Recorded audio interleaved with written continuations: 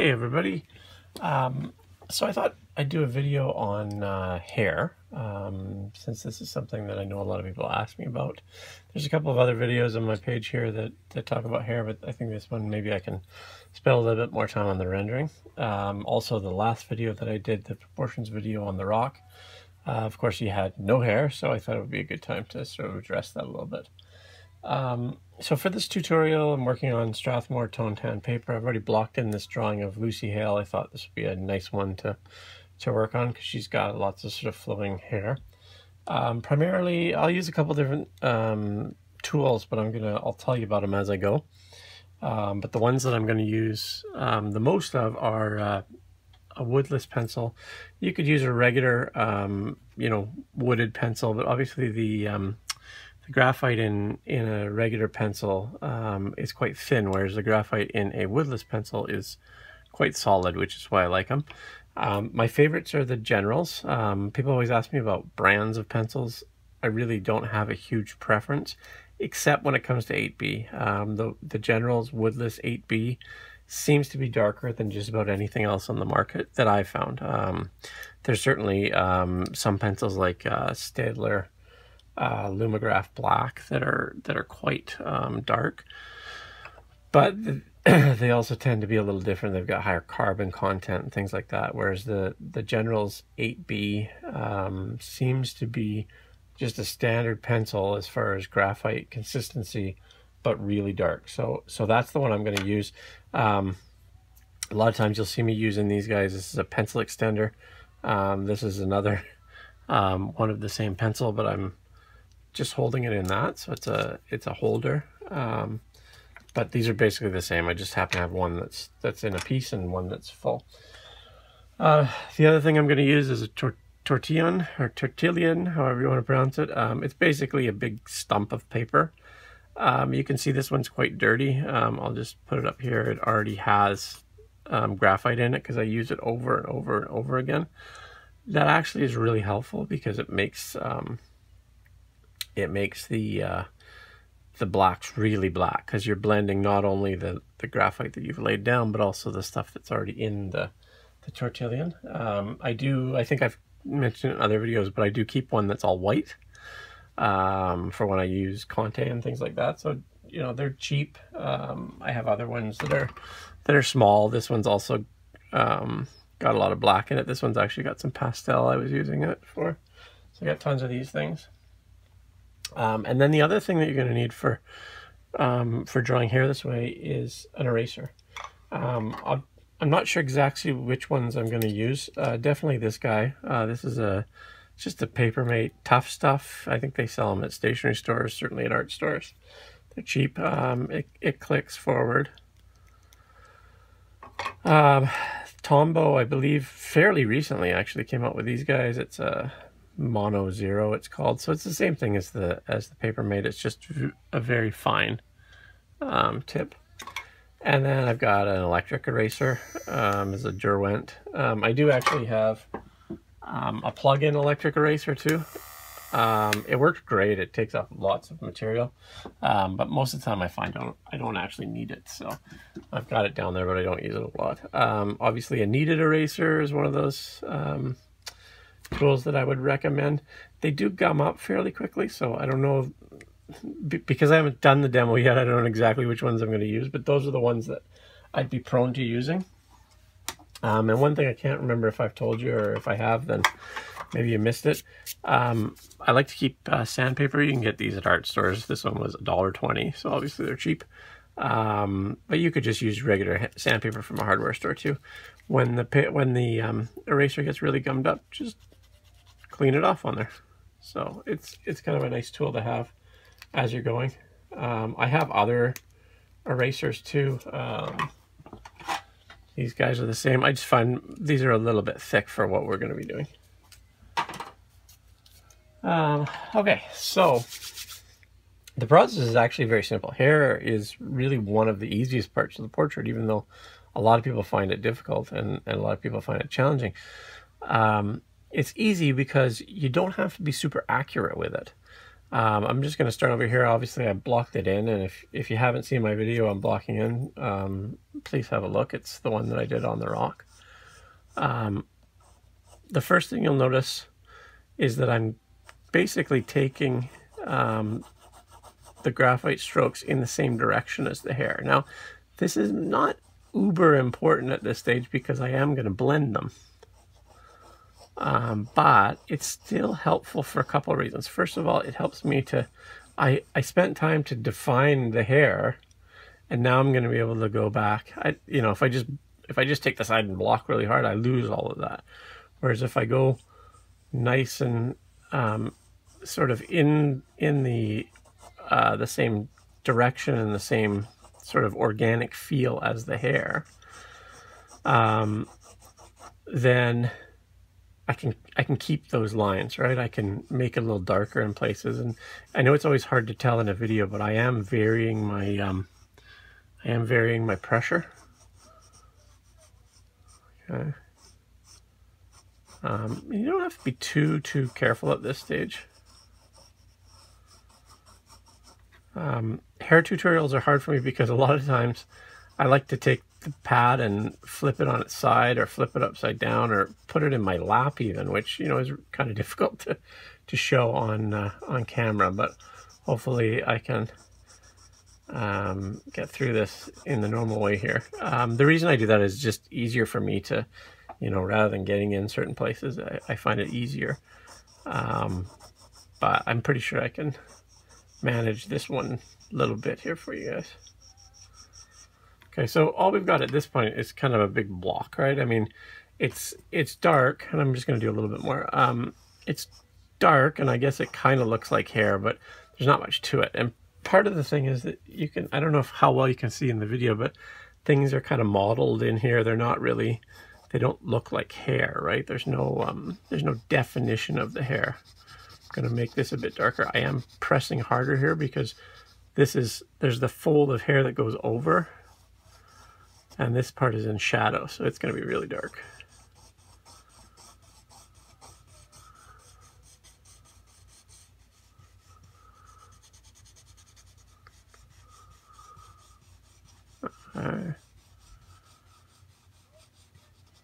So you can see, like, uh, what I want to show more than anything here is you can see I'm not really too, too focused on anything at this stage. Even these are going the wrong way um, just because they're they're going to be on, there's going to be less detail on them, right? So so this part of drawing hair is is really there's not that much. You have to worry too much about the details. Okay, so now we take out the tortillon, like I said before, and this one I've got one side looks a little darker than the other. It doesn't really matter. They're both going to be effective. And I start by just taking those edges um, because I want them to, well, I'll explain it as I get to them. Um, but now I'm going to go to the side here. And you probably see it's starting to get pretty dark already. Over here where I've got it really dark, it's gonna it's gonna really be like jet black.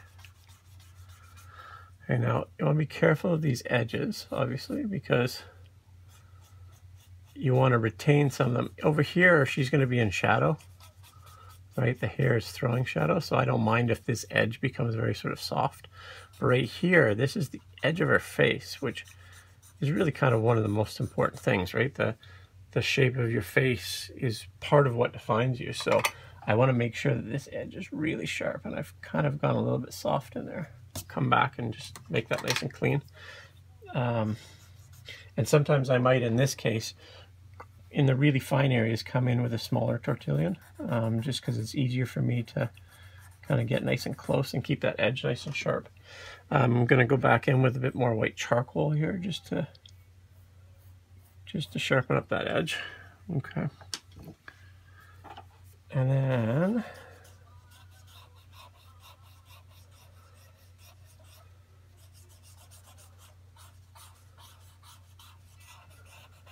just sort of blurring these out, smoothing them in, making them dark. Okay.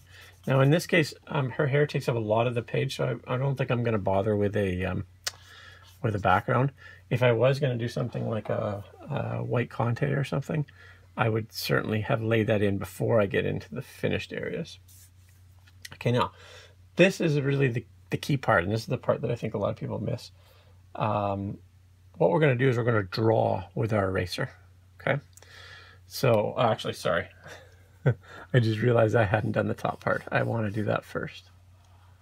Um, and this part, in fact, is kind of ugly, so I'll go back in and just to clean that up a little bit.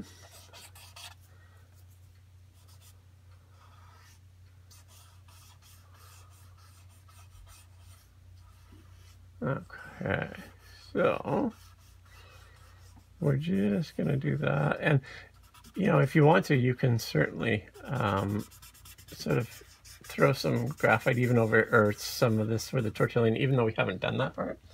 Just puts down sort of an initial layer. I'm going to erase a couple of the um,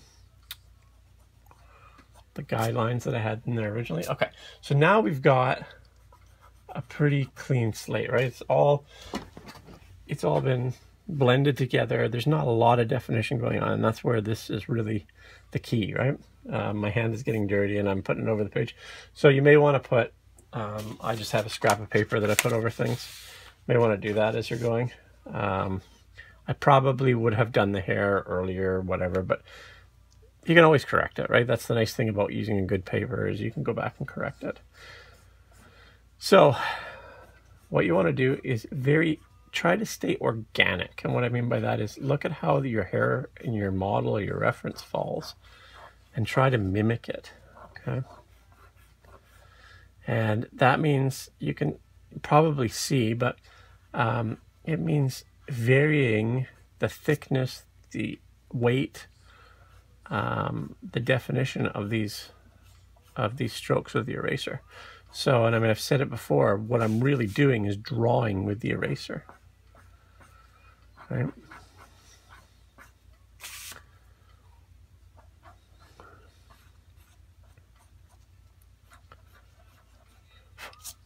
Okay.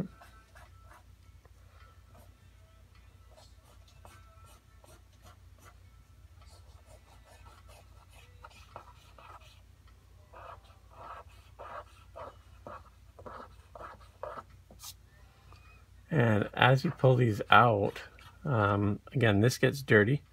So if you if you feel like you need it cleaner, you can go back in and just erase it with your with your um, sandpaper. Um, or you know you can keep going. What happens is it gums up, right? You're basically pulling the graphite with the eraser. But the key at this point is really to, sort of to identify the shapes that you're seeing in the hair. Okay. Um, and you may you may see little bits here and there.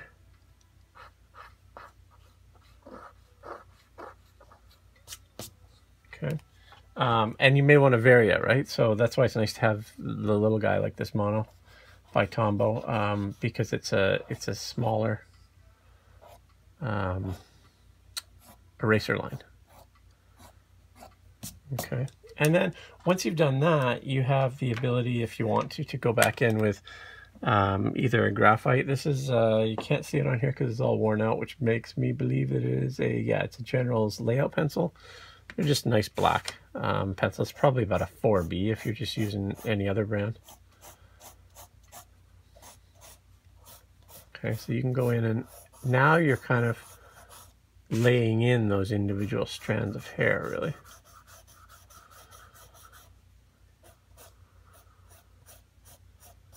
Okay, and, and we can do we can actually do that here, right? Lay in actual individual strands of hair.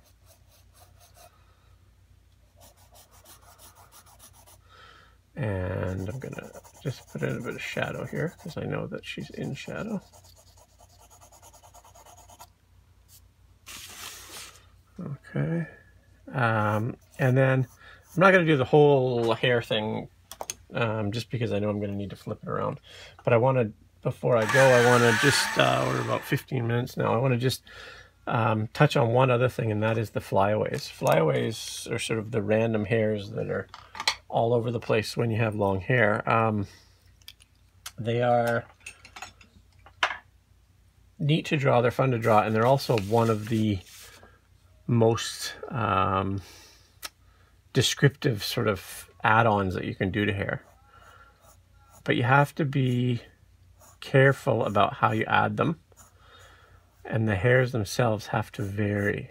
Okay, don't just go in heavy-handed or else they will look heavy-handed. You, so what you want to do is you want you want to um, mimic the hairs, and when you look at your reference, you can see um, what the hairs look like. Um, and you want to um, have them, I don't know how well you can see, but I have hairs that are, they start heavy and they, they finish off very lightly. Okay, that's kind of an important um, part of it because otherwise it just looks like you've added on um, lines around the edge. Whereas if you can really vary, sorry, pencil sharpener. So in this stage, you really want to keep your, your lead very sharp. Um, see if you can see this one goes dark and light and comes out again, right? Um,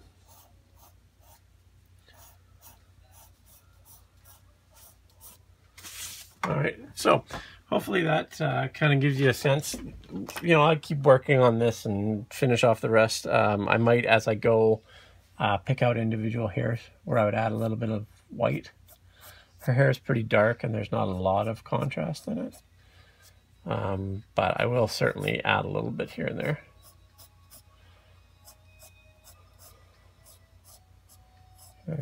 Um, so, and you can see on here, graphite, uh, or sorry, white charcoal doesn't go great over graphite, but anywhere where I've actually erased it, it, it, it holds really nicely. So you have to be careful. You don't want to add too much um,